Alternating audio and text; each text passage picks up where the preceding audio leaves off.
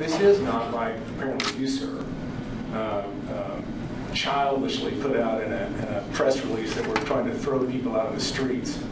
Right now at 6, fireworks after DHS commissioners vote to close homes for developmentally disabled Oklahomans. I'm Jessica Schambach. I'm Paul Folger. KOCO's Anita Blanton is live. And Anita, when will these centers close?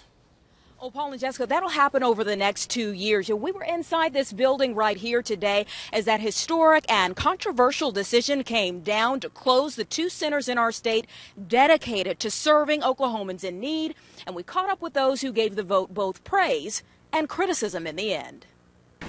Even before the decision was final, it was clear that it wouldn't sit well with many people here. Mr. Chairman, you're making a mockery of this entire process.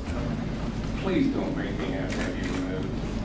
And as the votes to close the Northern Oklahoma Resource Center in Enid and the Southern Oklahoma Resource Center in Pauls Valley came in, Resolution passes.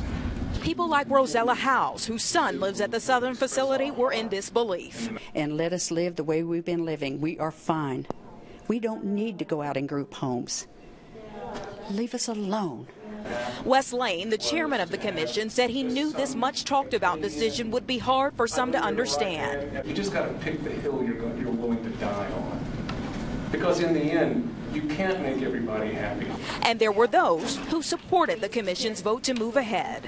I can't imagine how scared they would be. But if we hold their hands through this transition, I think we can do it, and Oklahoma will be a better place. Now, Wanda Felty, who you just heard from there, uh, coordinates a statewide list for services. She says now thousands of people not in the centers will have the funding that they need. On the other hand, though, for the families of the 231 residents of these centers who will have to move now, they say a lack of compassion and reason was exhibited today.